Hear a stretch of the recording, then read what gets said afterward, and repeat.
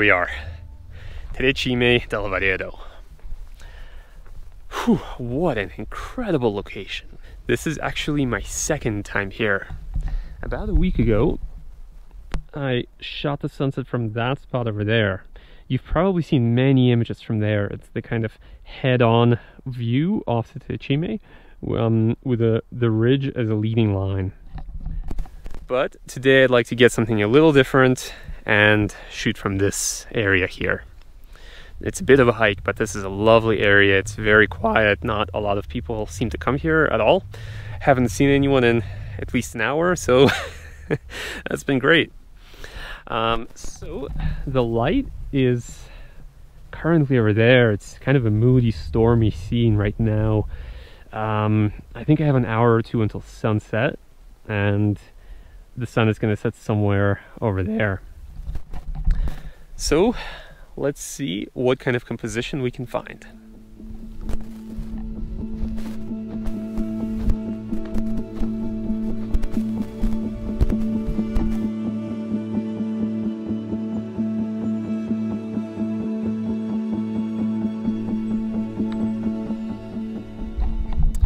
Okay, maybe got something here. Not not too sure about this one. So what I'm doing here is I'm using these rocks, uh, this line as a foreground that kind of mimics that line over there. And then you have multiple layers leading into the. And there's nice light, rays of light coming in from over here. Uh, yeah, I'm not gonna stick around at this spot until the sunset. I'm not that happy with this foreground, but not bad, maybe. Yeah, let me know what you think. thank you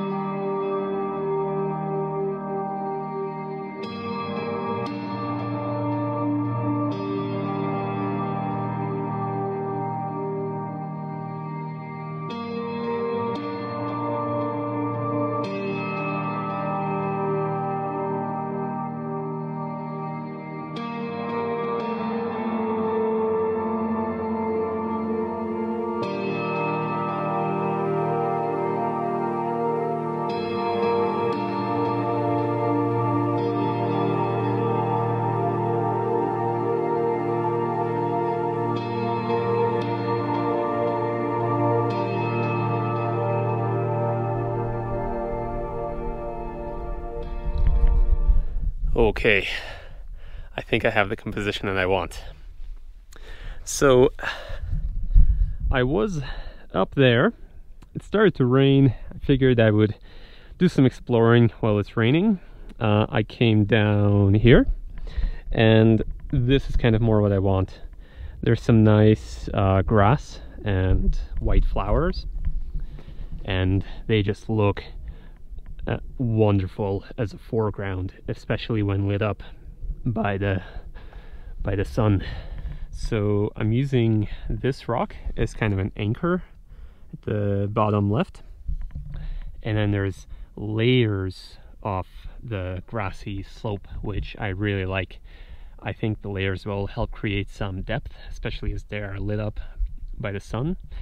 And then the clouds are actually, I love what they're doing right now. They're just going right in between the peaks. So I think I'm gonna stick around here until the sunset and see see what kind of light we get.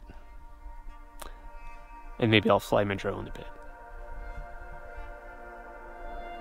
What an incredible place.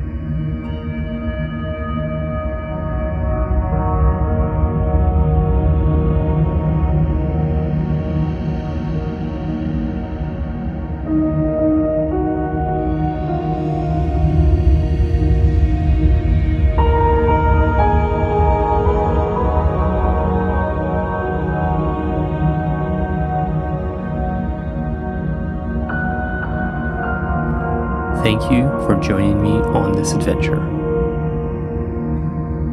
Let me know which of the images you prefer.